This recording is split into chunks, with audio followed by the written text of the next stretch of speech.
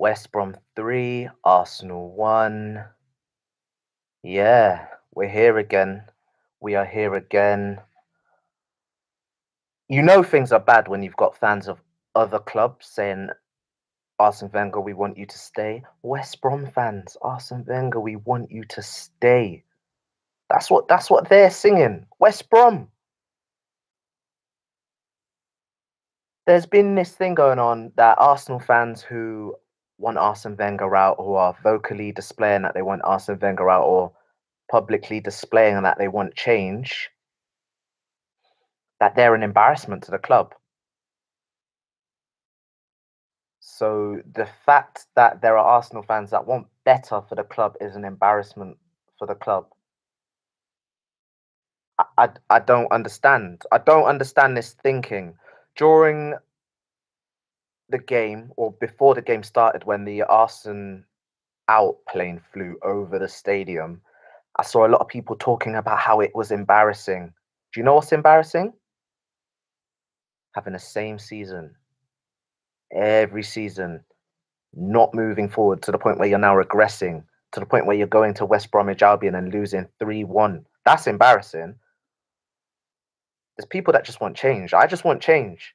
Like this club doesn't even represent me anymore, you know? It just doesn't. Like, it's pathetic. Every season it's the same season. And I keep saying this. I've said it so many times. Like the state of that first goal to even concede that first goal. Pathetic. You give big Dawson a run on you. Like no one even mentioning, hang on a minute, there's danger there. And that comes from the manager.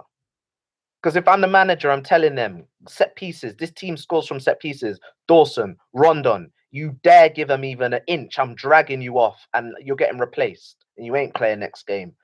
They didn't even they didn't even look at him. You know, no one even no one felt the fear.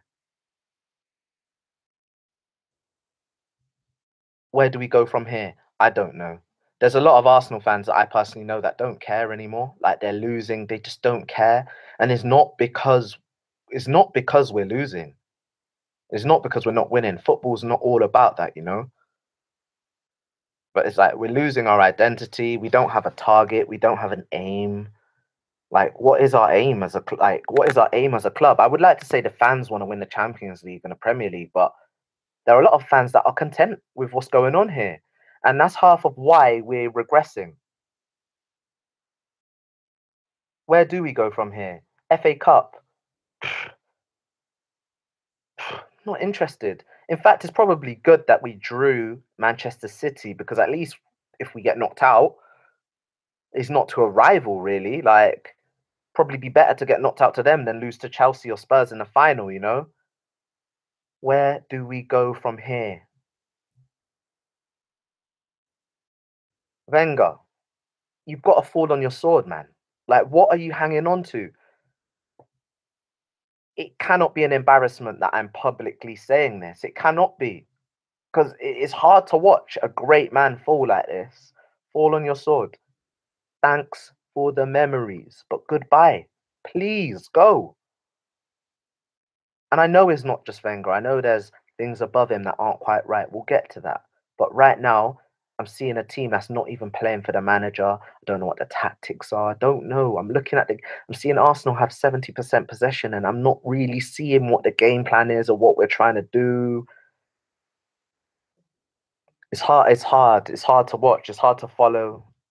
Honestly, honestly, I love this club, but this is the first time ever that I've just missed games. I've just other things have popped up and I've just decided to take my other options and have fun and not watch the game. Today, probably only watched it because it was a lunchtime kickoff, you know? Like I'm the club doesn't represent me. I want to move forward. He's got to fall on his sword. He has to. I don't I don't know how each week he can continue like this. Some would say it's the players, but there is players, you know. And we've seen Chelsea finish like 10th last season and come back strong.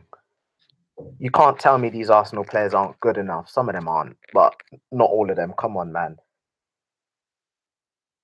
Come on, man. There's a manager out there that can get more out of these players. 100%. Arsene Wenger, fall on your sword, please.